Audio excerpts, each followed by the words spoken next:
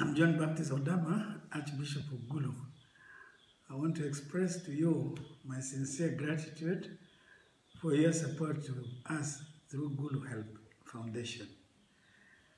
Since 2008, Gulu Help has been assisting with several projects and uh, they were helping us in northern Uganda as we struggle to be rebuilt and move forward after years of conflict and violence. Know that your donation, no matter how big or small, has made a difference for us. Your donation may have been direct to a small health center that is struggling to pay the staff salaries, purchase of uh, medicines. Uh, these small units are lacking the resources that are available to larger ones, including hospitals. Gulu Help is helping to close that gap as those units work towards self-sustainability. Or perhaps your donation has assisted one or some students whose families are not able to pay school fees and giving them the tools that will help them to sustain their lives and grow and become productive members of the community.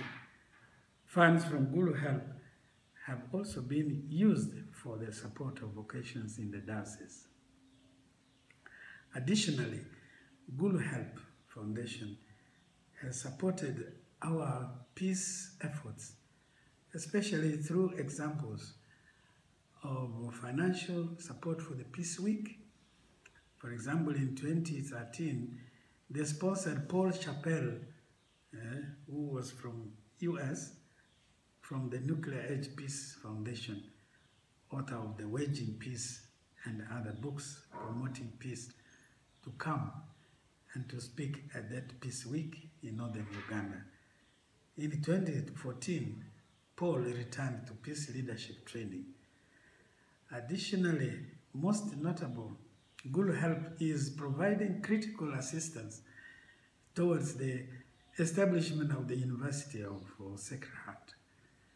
This is an institution that we have initiated to give hope because it is important to have an ongoing study and analysis of the need of healing of our people and the human society, to understand and try to avoid the issues that help or lead to conflict and tension in the human family and associated human uh, associated with it the trauma. And to promote every human person's dignity. The mission of the university is therefore to contribute to healing both personal and social growth and holistic development.